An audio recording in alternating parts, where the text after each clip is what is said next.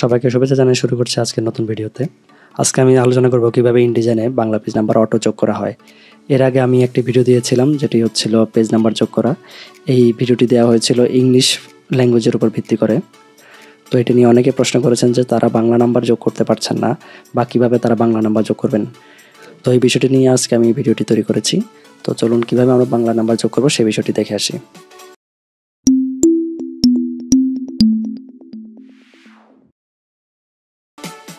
তো এখানে আপনারা দেখতে পাচ্ছেন একটি দশ পেজের ডকুমেন্ট এটি আমি আগেই তৈরি করে রেখেছি।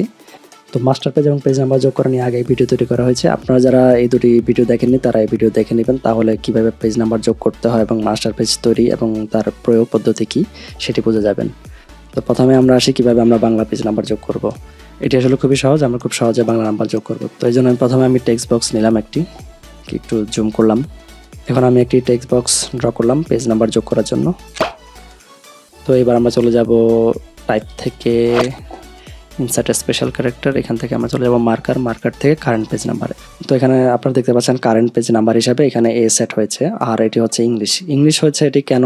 কেননা আমাদের ফন্ট সিলেকশন করা ছিল ইংলিশে মিনিয়ন প্রো তো আমি এখানে শুধু যে কাজটি করব, শুধু বাংলা ফন্ট সিলেক্ট করে দেব। তো বাংলা ফন্ট অনেক ধরনের আছে, আমি সাধারণত সুটনি এখানে ইউজ করছি। সুটনি সুটনি এম জে এই ফন্টটি আমরা সিলেক্ট করে দিলাম। তাহলে আমাদের এখানে কমান্ড দেখা যাচ্ছে সরিয় এই সরিয় নাম্বারটি কিন্তু পরবর্তীতে এক দুই হয়ে যাবে।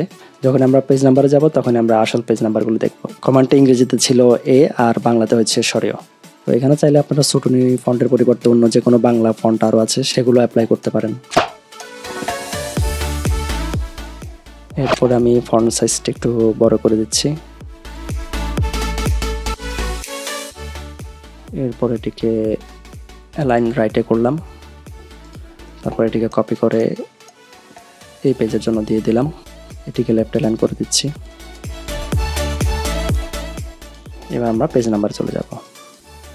তো দেখতে পাচ্ছেন পেজ নাম্বার পরিবর্তন হয়ে গেছে। এটি এক, এরপরে দুই, তিন, চার, পাঁচ। এভাবে করে আমাদের যতগুলো পেজ নাম্বার থাকবে, তত অটো পেজ নাম্বার হয়ে যাবে।